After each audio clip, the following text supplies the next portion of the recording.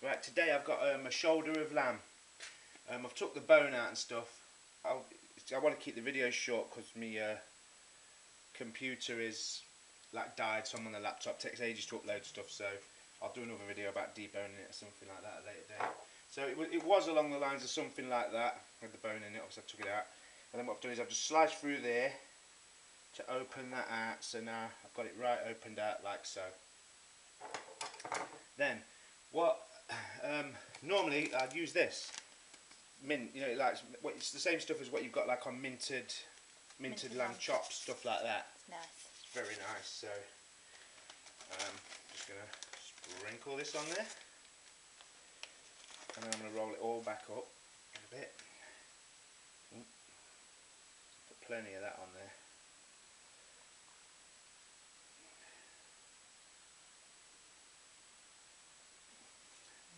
Smells good. Yeah, it's lovely. Really does make it's like you must have tried minted lamb chops and stuff like that. You put this on your lamb and it's just like an old minted lamb joint. Mm, lovely. It makes gravy nice as well if you put a little bit in the gravy. yeah, it does as well. So I'll put that there a second.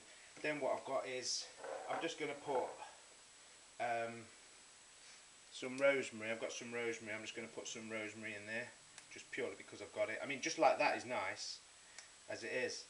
Um, but like I say, I've, I happen to, I've got this, so I'm just going to put some some rosemary in there.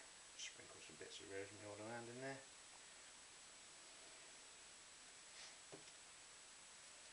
Mm-hmm.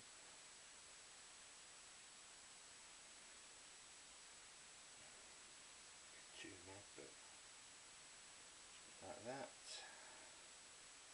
See this this starts to turn into like a, I don't know if you can see it happening already. Like I say, you normally just put it in the fridge and leave it, and it um, turns like a ready. Yeah, ready glaze. Do you know what? Maybe we should leave it so when I roll it up, Joe, it don't fall out. It don't fall out. Yeah. So I'll tell you what, we'll just stop, pause the video a sec, and we'll come back in a minute when that's turned into a glaze. It don't take very long. Right, so I'm going to go with a little bit of thyme as well. Just pull shred some leaves off the poor plant. That loves serving me anyway, the thyme does. Not going bananas, just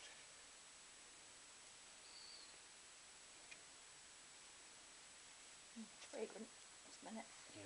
I'm having well, it's up to you, Jode, as well. But I do think it's a joint decision, though. I mean, turkey at Christmas, Jode. Nah. What way of Christmas? Lamb. Lamb. Lamb.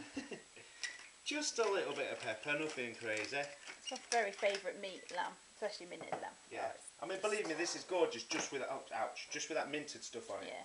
But I'm just going for it today. So I'm gonna put rather than put some cloves of garlic on, I've got some garlic granules. I'm just gonna literally just go with a little sprinkling of garlic in there. Nothing too crazy. And I'm also gonna put just a touch of sage in there as well, dried sage. Just a sprinkle of sage. Look at that. That looks nice, doesn't it? It's lovely. and you know it's going to be good. I do. I'm sad for all you people watching that you don't get to eat it with us. Not. More for us. Right, so, so now basically I'm going to roll that up and tie it up. You know what I mean? So, I'll have to give that a roll up there like this. Fold that bit in. That folded right in there. And give that nice good roll up there like so.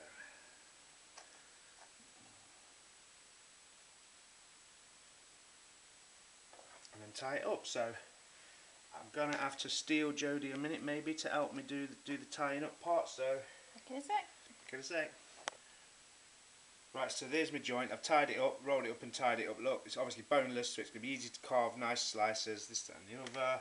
So what I'm going to do now is um, put more more minted stuff all on the ends. Can't have too much. you can't. I that up. Jade. Probably need to pause again because it'll just wait, wait. for that to Yeah, wait, waiting for Christmas, aren't we? When is it? Just, yeah, just doing both ends.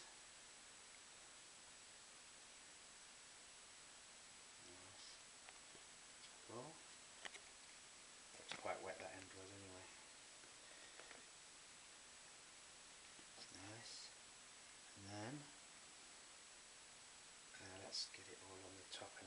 As well.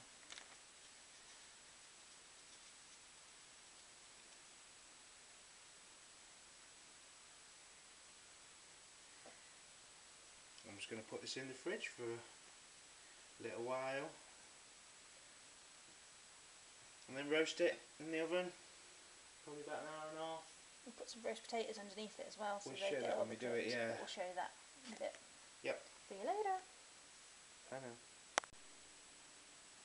Right then, so here's my joint, my minted shoulder of lamb, but I've took the bones out. So it's just been in the fridge a little while, but I've had it out of the fridge actually for half an hour, but it was in the fridge a little bit before that, just let the marinade glaze, see it look. So I do it like this, um, excuse me a minute. Basically, roasting tray, and what I do is I, I put that on and put the lamb onto that, because then underneath in about an hour's time, we put roast potatoes in there, and then all the all the juices from the lamb and the minted marinade and all the, all the other stuff we put on there just drips through then and onto the potatoes. It's nice. So there you go. I'm going to put this in the oven for about. I'm going to cook it slower actually. I'm going to cook it on 150 degrees in the oven for mm, hour and three quarters to two hours, just nice and slow. Yep. And so I'll come back to you later. Bye now. Right, that's had about an hour now so far. So I'm just gonna pop that on there a second. Because I've got some roast taters, those juices are gonna start to come out now. I just, blan I just blanched them for blanched them for a minute in, in some hot oil in the fryer just because Just crisp them up a bit while the because when the juice drops on them, if you do them, don't fry them first. They just go soggy. So yeah, yeah. better to give them a crispy coating first. But I'll come back and do them in a minute because the juices are starting to come out of the meat now. So Second sec. right, so put that back on there. Now I'm going to also turn that over. Get that side done. There. Stay.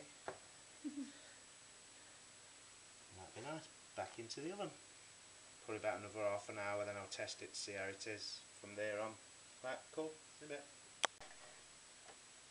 I'm just giving these a spin around in the, the yeah, the minted lamb stuff and all the juices look that have, that have basically fell out, you know, come out of the joint.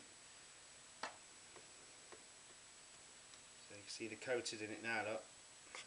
They do taste nice when they're like that, Joe, don't? Very nice. I'll put my joint back in. See you in. I'm, I'm making some Yorkshire puddings as well to go with this. Um, I've made up the batter just there. You can see that on the toad in the hole video if you want to know how that how that, that all pans out. But I just thought I'd film doing a giant Yorkshire pudding to share. So that's been made standing. Now it's going in.